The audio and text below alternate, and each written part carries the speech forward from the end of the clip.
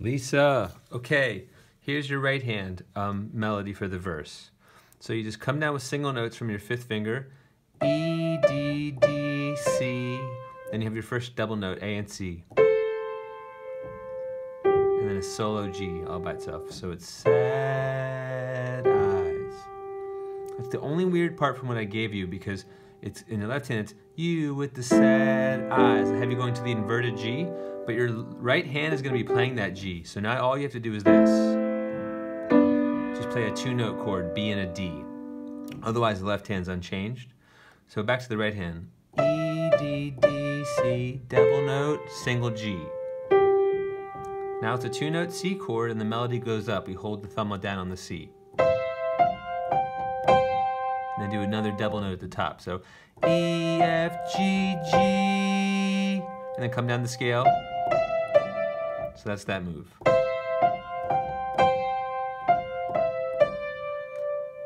Um, well, let me think this through. Okay, realize you're gonna hit the C and the D together hold the C down. So it's And you play double note on that first beat. So that whole part is.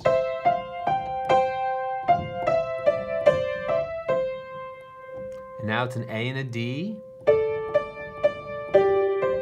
And you drop the A to the G for the second half. So D, D, D, D, C. Excuse me.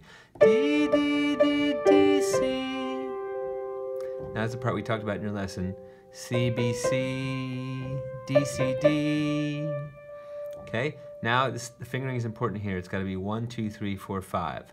So C, E, F, double notes on the G with the C thumb, and then the melody goes up while you hold the C down. So it's two C's, finish the phrase. Again, so it's going to be, you can lose sight of it.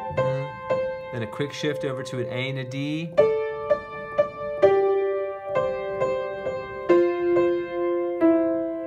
So the way that works is A and D, D, D, D, G, D to a C. Again.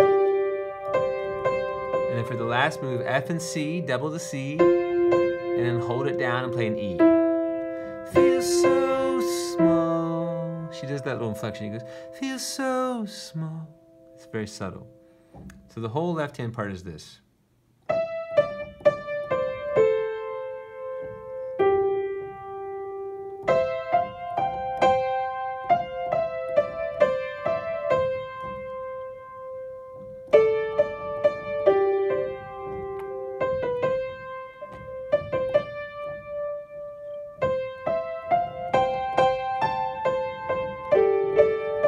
That's, that's sloppy.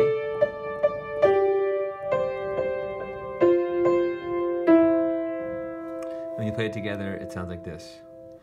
You.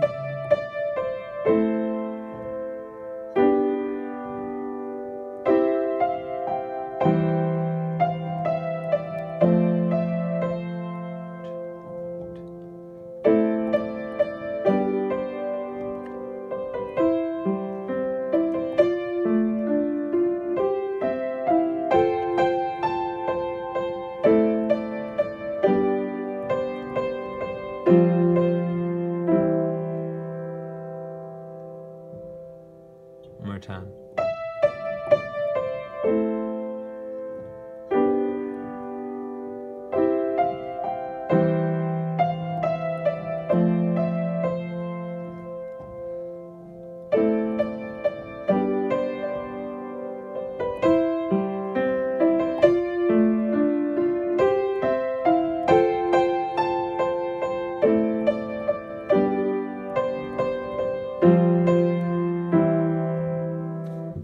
That helps.